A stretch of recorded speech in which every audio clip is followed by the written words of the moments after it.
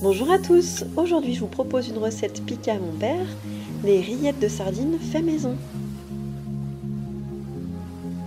Pour la liste des ingrédients, il nous faudra une boîte de sardines à l'huile, du fromage frais, ici c'est du carré frais mais ça marche aussi avec du Saint-Moret, le jus d'un citron et de la ciboulette.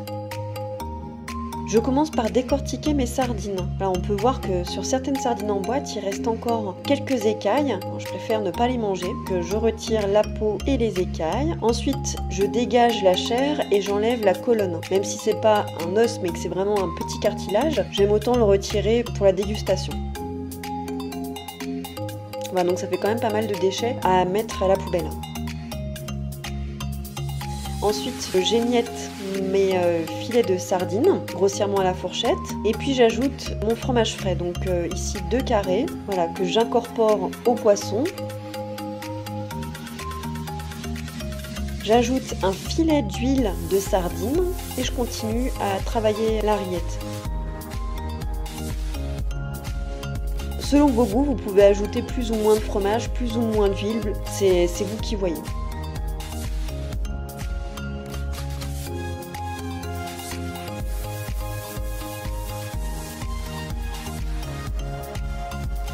Je vais presser le citron pour en extraire le jus.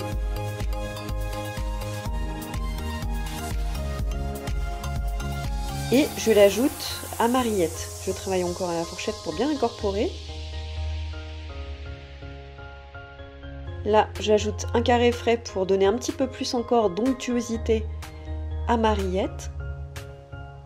Je goûte et pour moi ça manque encore un peu de citron donc j'en ajoute.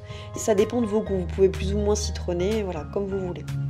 Alors cette rillette est vraiment délicieuse. Le goût de la sardine n'est pas très prononcé. J'ai réussi à faire manger ces rillettes-là, à faire aimer ces rillettes de sardines à quelqu'un qui n'aimait pas les sardines. Donc voilà, n'hésitez pas à reproduire cette recette, à la faire découvrir lors d'apéritifs, dînatoires ou autres. Hein. Euh, moi c'est quand j'ai un invité surprise à la maison. Euh, en deux secondes, c'est... Euh, enfin, un peu plus que deux secondes. En cinq minutes, les rillettes sont faites. Voilà, donc pour un petit apéritif maison, bien meilleur qu'un paquet de chips. Je vous invite à reproduire cette recette, à vous abonner en cliquant sur le logo à la loupe que vous voyez ici et n'hésitez pas à mettre un petit pouce bleu si vous avez aimé cette vidéo. À la semaine prochaine pour une nouvelle recette sur la loupe cuisine. Bye